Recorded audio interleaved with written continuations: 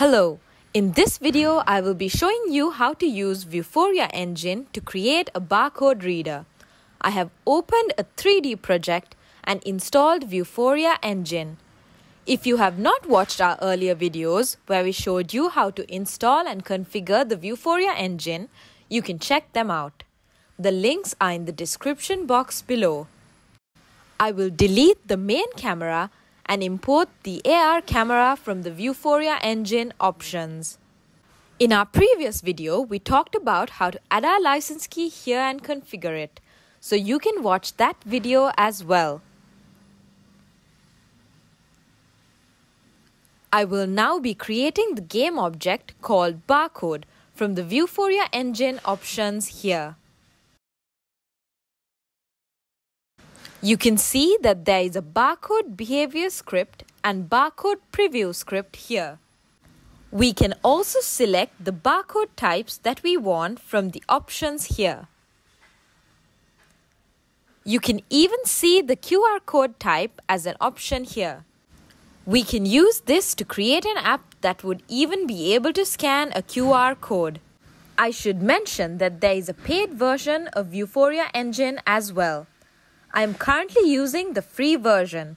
The free version has a limited number of functions that we can use. The barcode option is one that falls under the premium features. After we have finished building the game, there will be a Vuforia watermark on the screen as it is a premium feature.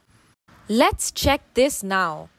You have to select the barcode option here and go to the inspector You should panel. then go to add component and add a new script named barcode outline behavior. What this script does is that it adds an outline so we can see when we are scanning a barcode.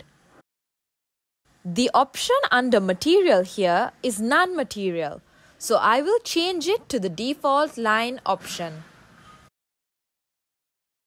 I will also increase the outline thickness here to 10 so that it will be seen clearly. After that, we can open the official Vuforia site which is developer.vuforia.com.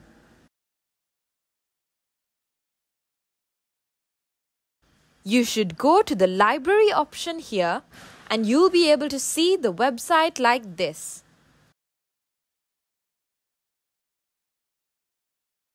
You should then select the barcode scanner option from the image and objects drop-down list.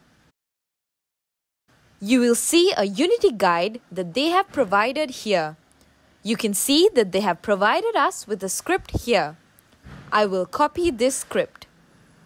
We will be using this script to display the details of the barcodes that we scan on the screen. You should come back to Unity and create a folder named scripts. I will then create a C-sharp script using the simple barcode scanner class name.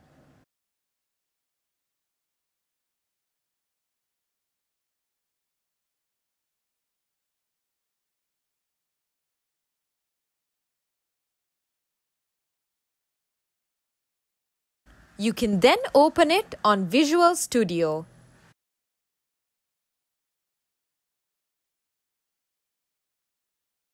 I will then copy this entire code from the official Vuforia engine site and paste it on Visual Studio.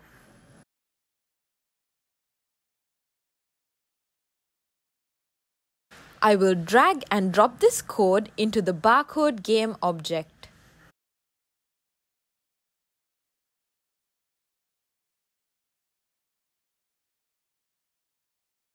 You can see this barcode as text slot here where we have to add a text mesh pro. So let's create a text mesh pro. You should click the plus mark and come to UI and select text mesh pro from the options. You will then be able to see that you can import TMP essentials to this place. I have successfully imported the TMP essentials. I will close it afterwards. You can see our canvas here now with our TextMesh Pro at the bottom. I will increase its size. I will then place it in the way I want our TextMesh Pro UI element to be displayed.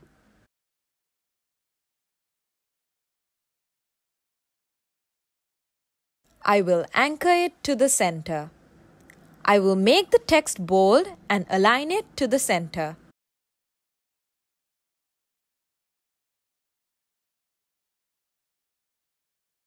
I will also increase the font size like this. We can then check this. Before that, we should drag and drop the Text Mesh Pro to the code of the barcode. After that, we can play it. I maximize the device simulator.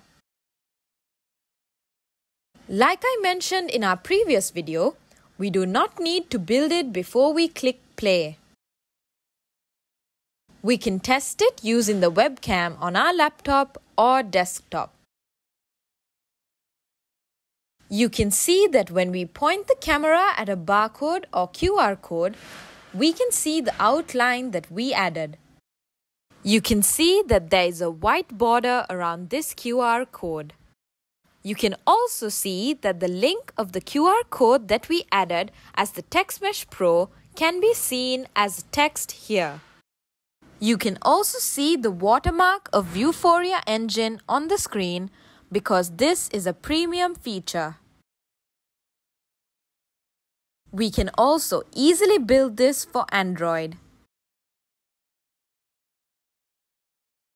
You should first go to Build Settings and switch the platform to Android. After switching the platform, you should make some changes to the player settings. The scripting backend should be changed to IL2 CPP and the target architecture should be ARM64. There is no issue with both of these being ticked. The minimum API level should be changed to a version that has been released more recently, like Android Oreo or a more recent version. That is API level 26 in this case. You can then build this.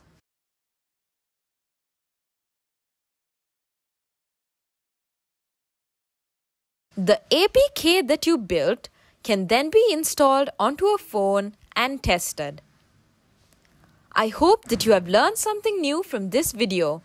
I'll see you next time. Bye.